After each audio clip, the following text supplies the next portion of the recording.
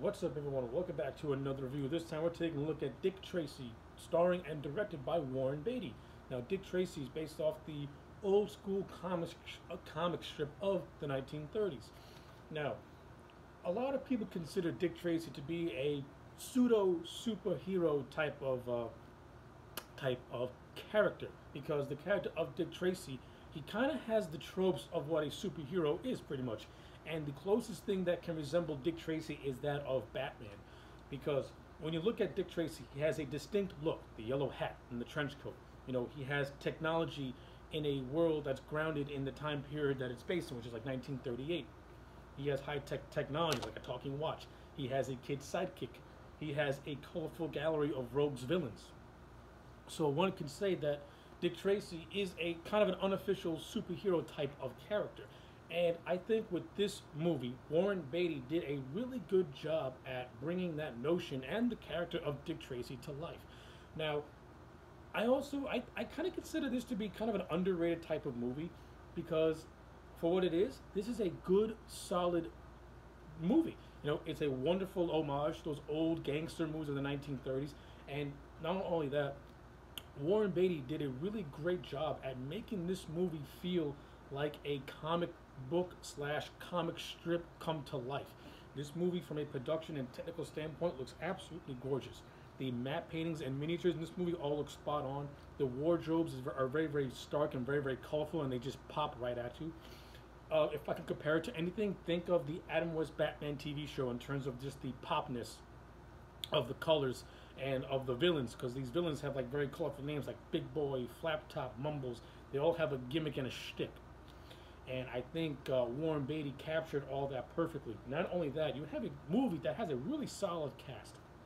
You know, you have Warren Beatty in the particular role as, as Dick Tracy, and I think for what it is, he's really, really good in the role. He gives uh, Tracy this very stern, uh, this very stern uh, quality to him, but at the same time, he he also gives him a lot of a lot of heart, and he's instantly, and even though he's a by the book cop, he's also really likable at the same time as well because of the interactions that he has with his girlfriend Tess, in which there's this really funny running gag where Dick Tracy is a ace police officer, but he stumbles to try and ask his girlfriend to marry him, and it kind of makes Tracy feel grounded and human in a way where it's easier to relate to.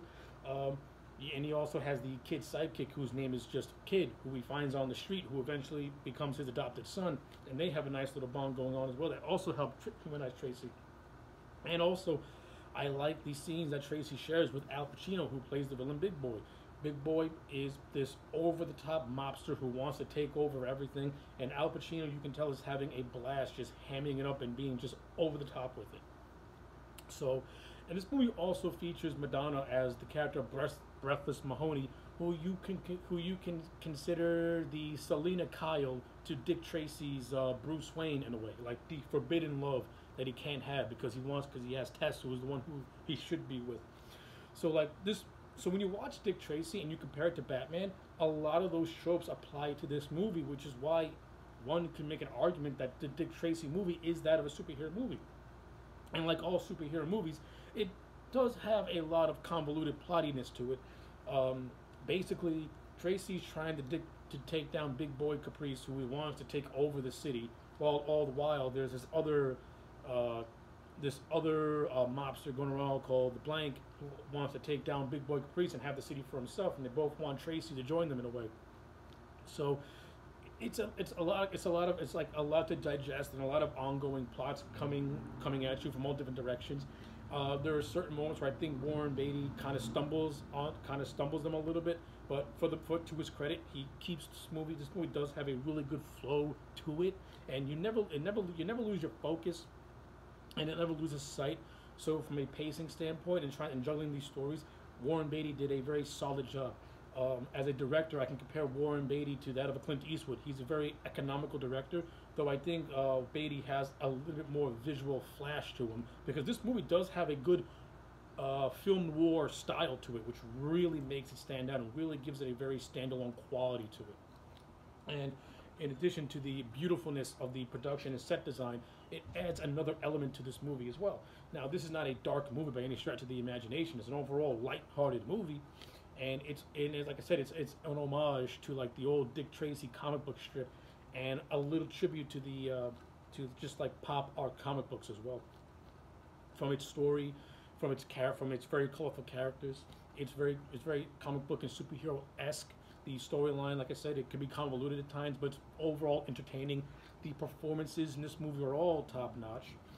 Uh, Pacino is having a great time. Warren Beatty as Dick Tracy is great. The chemistry he has with the characters of Tess and the kid really helps make him human and grounded.